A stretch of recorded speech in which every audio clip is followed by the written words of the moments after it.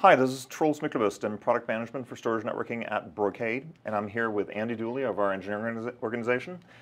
And today we're going to talk about adaptive rate limiting, um, one of the features of our extension products, like the Brocade 7840 extension switch, um, also in the 7800 extension switch, as well as in the FX824 extension blade for the DCX and 8510 directors.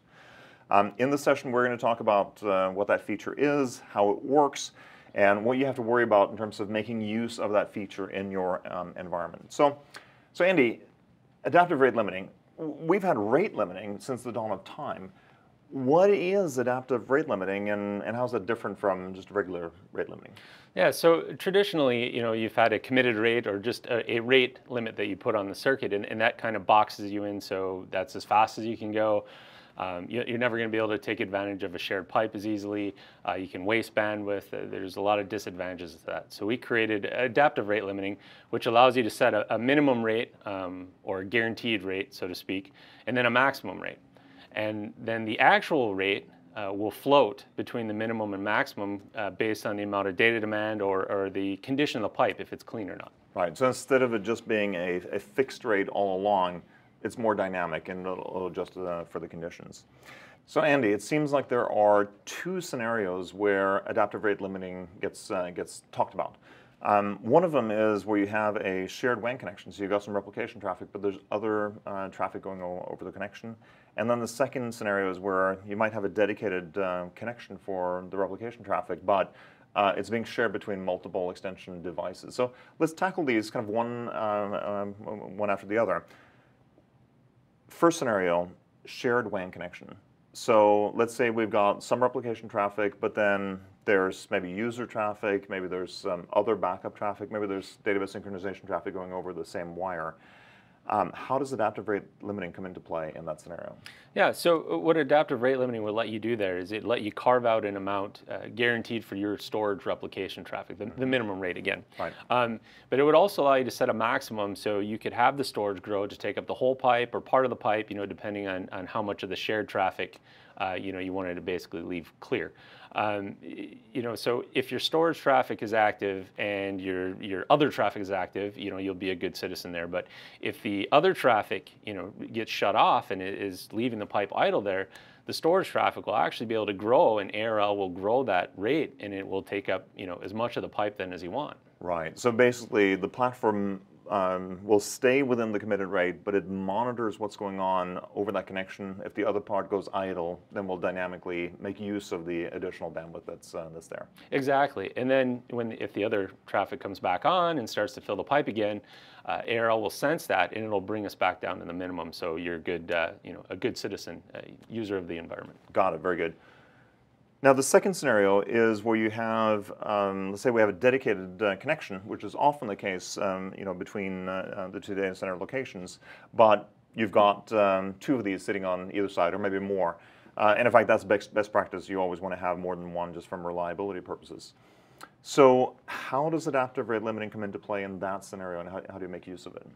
Yeah, so if you have a pair A and pair B uh, mm -hmm. of the extension devices, and they're sharing the same dedicated pipe, yep. um, typically speaking, what you can do there is you're going to set the minimum to half on each. So if both are active, each is using half. Um, and then you can set the maximum though to consume the whole pipe. Right. And then what that does is if say pair A has a catastrophic failure and goes down, uh, pair B will notice that and then we'll be able to increase the rate to take up the whole pipe. Right, got it. So in other words, you've got two of these, one of them loses power, let's say, or, or there's a cable break, or something takes one of them completely out of commission. The other one will detect that, it'll dynamically expand, and then still drive maximum line rate over distance, so you get the, the same level of throughput, even though something really bad happened in the environment. Exactly, and then, you know, when, when you get uh, the A pair repaired and it comes back online, it's going to come back out and start taking a bandwidth in the pipe, and then pair B will notice that, and then they'll go back down to the minimum, so they'll be equally sharing the pipe again. Got it. So, so in effect, adaptive rate limiting is actually an essential technology to make sure that you're going to get maximum replication throughput even in scenarios where something goes really wrong within the environment. What are the considerations that you have to take into account to really make use of this feature within your environment? Well, I think the main thing is know your pipe. Right? Know, know how much bandwidth your pipe has, Right. and then know if you're sharing it. If you're sharing with other applications, you know what's the expectation for the bandwidth those applications need. So you get a good minimum set, um, and then you know you can set the max to the to the maximum amount of the pipe, or you know if there's an amount of traffic you just don't want touch from another application there, set the maximum under that. Uh, the other thing is always ensure you have enough minimum bandwidth to sustain your replication, especially in a shared environment. Right. So. Right, got it. Now, from the perspective of the uh, replication application, um, are there things that I have to worry about at that front, uh, on, on, that, on that front? I know that uh, customers are very, very focused on maintaining recovery point and recovery time objectives. So, um, how do they set up the array to make sure that we can we can take advantage of what the, this platform offers? So in a failover scenario, they'd obviously want to have their traffic split between pair A and pair B, Right. so they have enough connections there. Outside of that, the, the algorithm works fairly seamlessly, um, and the application for the most part doesn't know other than it can drive traffic faster. Right. So again, one of the main things there though is always make sure that you have a large enough minimum to satisfy your RPO objectives. Right. So, so sufficient connections to each of the um, extension platforms so that you can make use and still deliver the, the, the right level of bandwidth as you go through um, that scenario. All right, well, very good. Um, Andy, thank you so much for explaining all of this uh, to us. Um, that wraps up uh, the session on adaptive uh, rate limiting. Uh, thank you for watching. And please stay tuned to the Brocade YouTube channel for additional videos that explain the technical features in our products.